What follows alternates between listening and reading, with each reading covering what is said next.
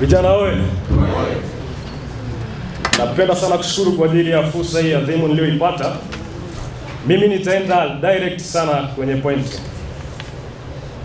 Kwanza, awali yote, napenda sana kuwashukuru vijana wote waliohudhuria katika semina hii.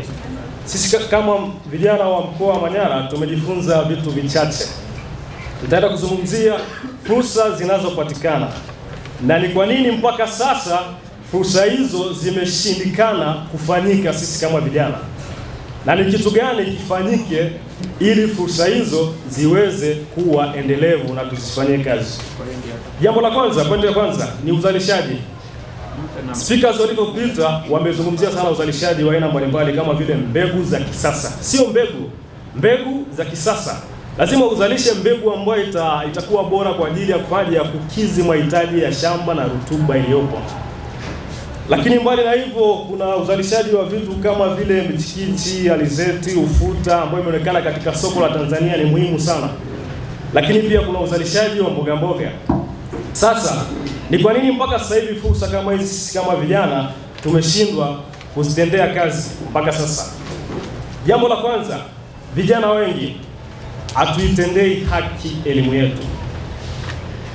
Kwanza, jambo jambo la kwanza kabisa, tunatakiwa sisi kama vijana, Wizara ya Kilimo, Wizara ya Ufugaji, tuwe na mpango mkakati wa kutoa hizi semina kila baada ya muda fulani, interval iwe ni fupi, ili vijana waweze kupata ile awareness, wapate uelewa wa kuhusu ni kitu gani cha kufanya katika shamba. Kijana anapokuwa na shamba lake anapolimwa, lazima apate elimu. Elimu ni kitu kimoja ambacho ni cha msingi sana. Kama mtu atakupa mtaji lakini hatakupa elimu, itakuwa ni kazi bure. Lakini vijana tukipata elimu, wale ambao walikuwepo jana wamepata elimu, ile elimu itaweza kuwasaidia vijana kwa ajili ya kujikwamua kiuchumi na kufanya mambo ambayo ni makubwa. Kwa hiyo jambo la kwanza ni elimu. Lakini pia tumeona kwamba fursa hizi zinaweza kufanyika kwa sababu fulani.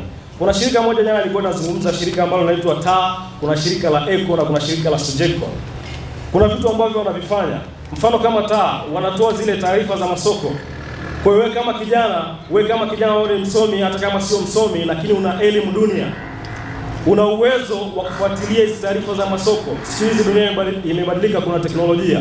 Kwa hiyo unafuatilia kwamba masoko yana- yana- yanaendaje, masoko yanataka nini, hivi vitu vinaendaje. Kwa sisi kama vijana ambao tukiwepo hapa jana, tukawe chachu hata kwa wenzetu pia. Tumepata elimu, elimu ndio kitu bora sana, ndio kitu ambacho kinaweza kitatoa sehemu moja kwenda sehemu nyingine. Kwa hiyo kitu cha kwanza ambacho nilikuwa nimekiona ni hicho kwamba unapoangalia bidhaa ya masoko, lazima bidhaa unayoitengeneza ikizi haja ya soko la nje. Mfano mzuri walisema kwamba jana mchele wa Vietnam unakuja Tanzania unakuwa ni bei rahisi. Kwa nini? Sisi kama vijana tuliopata elimu tukapate kuwa chachu kwa watu wengine. Kwa hiyo maoni yetu sisi kama vijana wa mkoa wa Manyara ni machache. Oni letu ni moja tu au mawili. La kwanza, serikali, sekta ya kilimo, pamoja na vijana ambao wote wamehudhuria hapa, jiulize kwa nini kijana mwenzako hayupo hapa, lakini wewe upo. Umepata chance hii adhimu sana kwa ajili ya kuwa ambasada wa kusaidia vijana wengine. Inawezekana kwamba tutaunda vikundi vichache vichache hapa, kutakuwa kuna mtu ana capital, mwingine ana mali, mwingine ana kitu cha kufanya. Kwa hiyo tutaunga, lakini pia tuwe ambasada wazuri sana kwa vijana wenzetu, tuwape hii elimu ambayo sisi tumepata. Kwa hiyo jambo la kwanza, serikali, wizara ya kilimo iwe na mpango mkakati wa kuandaa semina ziwafikie watu mbalimbali kule kijijini, kushirikiana na na hizi taasisi kama vile TAA na watu wengine katika mambo ambayo wanafanya. Mfano Sujeko, Eko wanafanya vitu vya internship, vijana wanapata ile fursa ya kujifunza mambo mbalimbali. Sisi kama vijana lazima tujue kwamba tupende kujitolea, tusiangalie kwanza pesa, tupende kujitolea, tujifunze mambo, tujue mambo kwa upana.